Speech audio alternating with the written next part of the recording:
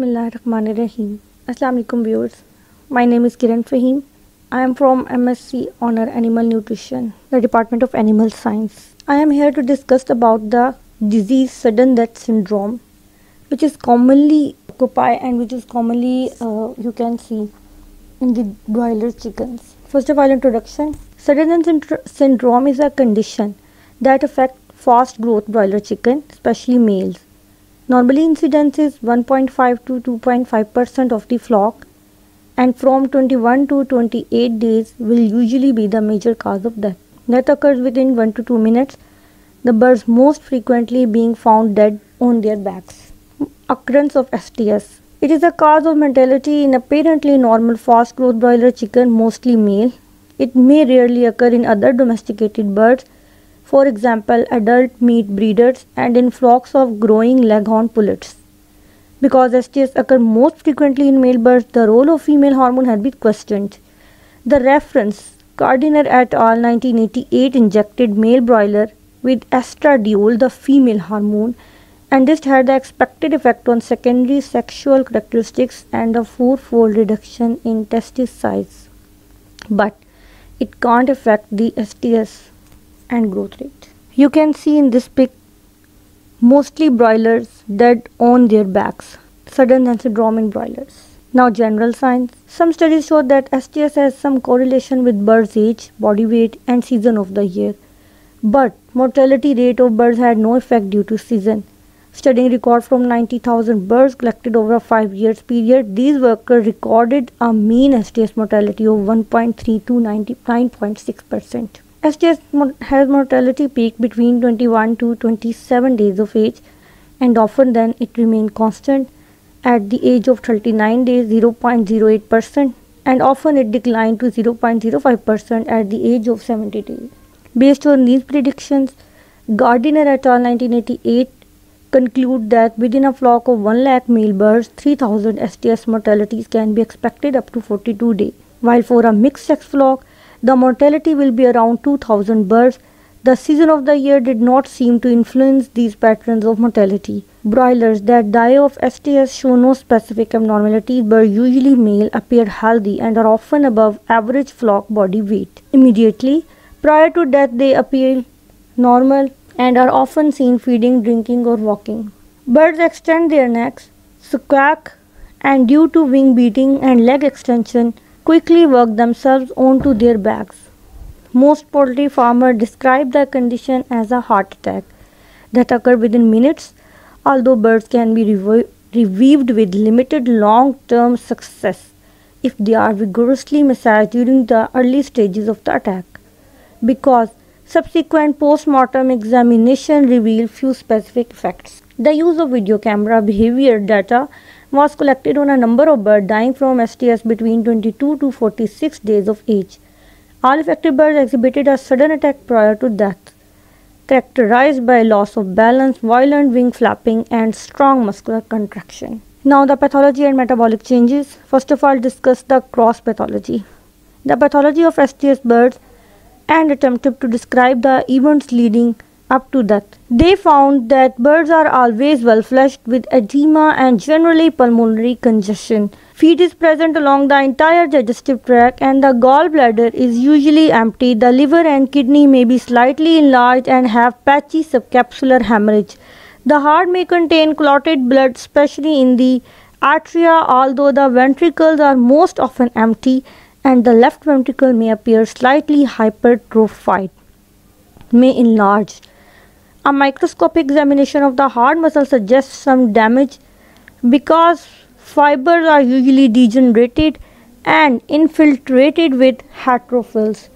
That is caused by some type of damage to the heart which subsequently leads to lung edema, edematous lungs, with the chicken then being unable to breathe.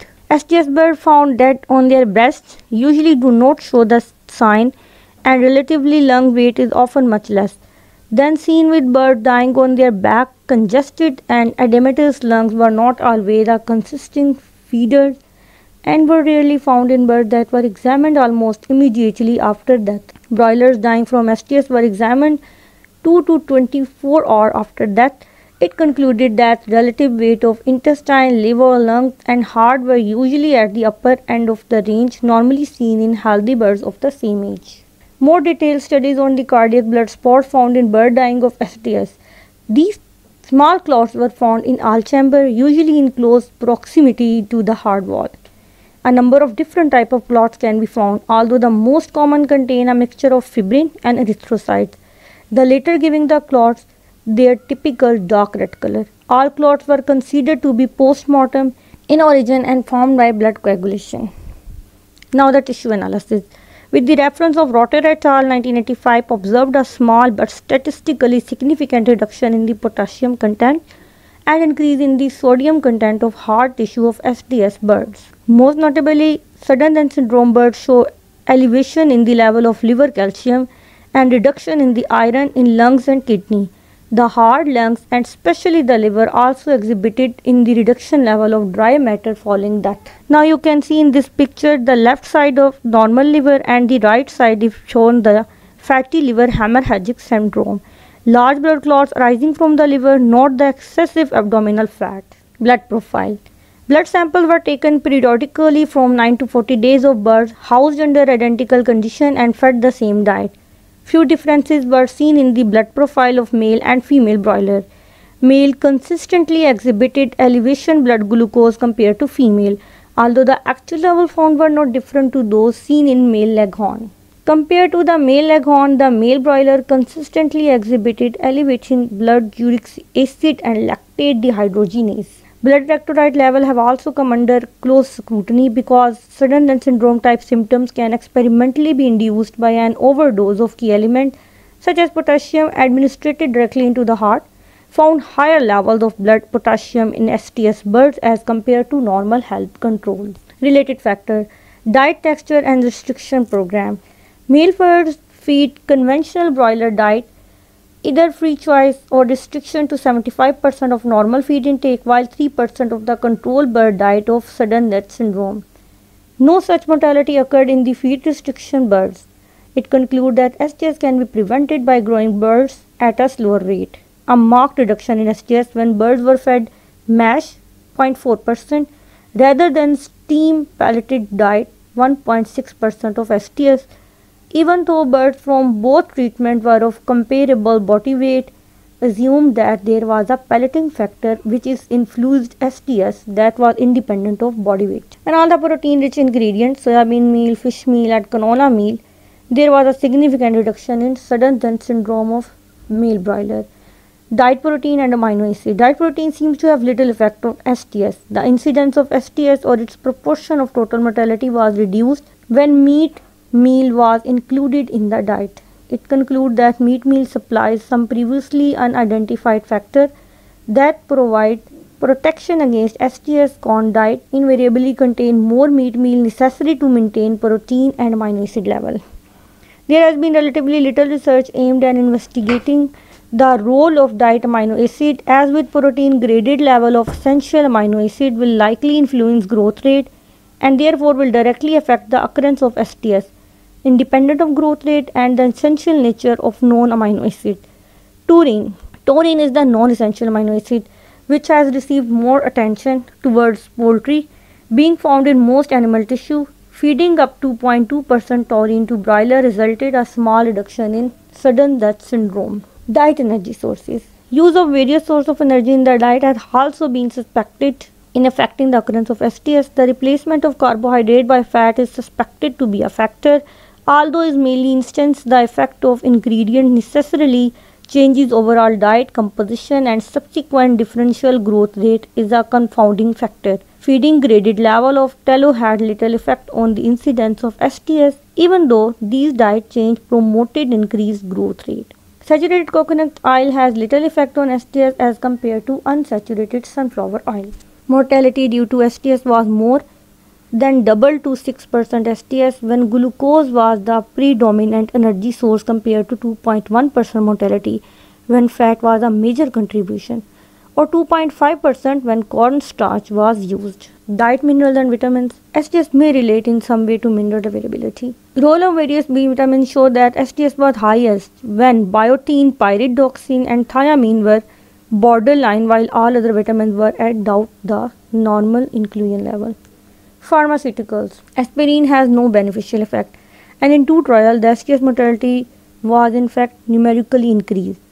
The role of anticoccidial drugs should perhaps has received more attention than has occurred to date. There is some evidence of highest SDS mortality which when these products are used indicate that SDS was substantially higher when birds were fed diet containing ionophores anticoccidials when two ionophores namely monensin and maduramicin ammonium. The SDS mortality was respectively 3 and 2.3 percent while with robenidine, a known ionophore SDS was only 0.5 percent. Lightning program. Lightning program can influence the growth and development of the broiler and so there has been an interest in studying these. They affect SDS. Photoperiod had no effect on SDS which showed the typical pattern related to age of 9, 19, 33, 30, 18, 13 and 10% of total mortality in the week of 1 to 7 respectively. A period of short daylight during early growth has recently been shown to be beneficial in reduction of both SDS and skeleton problems in the birds. Lactate metabolism. There has been considerable discussion on the role of lactate imbalance affecting SDS. This idea stems from the fact that lactate dosing can bring about symptoms similar to SDS and that comparable lactate related condition are seen in other species. By injecting 20% lactate into the wing vein, all birds died within several seconds showing typical SDS sign. Treatment and prevention. First of all, reduce growth rate. One of the most successful techniques used to temper early growth rate is step-down lighting program as detailed in the table. You may see Reduced day length program for blighted. Age of birds. Blackout housing, open-sided housing. In the blackout housing, there are two options, option 1 and option 2. Now you might see 0 to 4 age, 5 to 10 age, 11 to 14 and so on. There is the degrees in the day length program of broiler. 23 or 8, 10, 14, 18 and so on. Electrolyte balance. It is surprising that so few researchers have investigated the role of electrolyte balance. SDS type sign can be induced in the laboratory by injecting electrolytes such as potassium into the heart and the work with lactate loading suggests an acid-base imbalance. Likewise, the SDS condition reported in Australia with adult breeders seems to be affected by potassium level of the diet and potassium salt given via the feed are recommended for prevention. Anticoccidials there is circumstantial evidence that ionophore anticoccidials are in some way involved with SDS. Certainly, the appearance of SDS some 15 to 20 years age ago coincide with the introduction of these products. Ionophore by def definition affect ion balance, the most critical ones being sodium and potassium. Again, it would seem beneficial to study the available potassium status of diet as related to anticoccidial inclusion and the physical distribution of anticoccidial within the pellet diet. On the other hand, SDS occur when non-ionophore anticoccidials are used and so if they are involved in this condition, they are but one contributing factor. Last, lactate balance. One of the most interesting research resulted in the differential response by the bird to lactate dosing depending upon their dietary carbohydrate source. Lactate accumulation in other species can cause sudden death that is ultimately manifested as circulatory failure. Thank you so much. I hope you like my video and my topic disease sudden death syndrome. Thanks a lot.